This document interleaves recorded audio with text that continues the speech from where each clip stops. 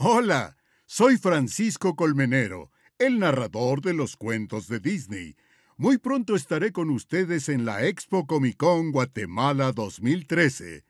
También podrán oír otras de mis narraciones como Mientras tanto, en el Salón de la Justicia, la Mujer Maravilla se prepara para ir a ayudar a Superman, que está en dificultades. Ahí los espero. No dejen de ir.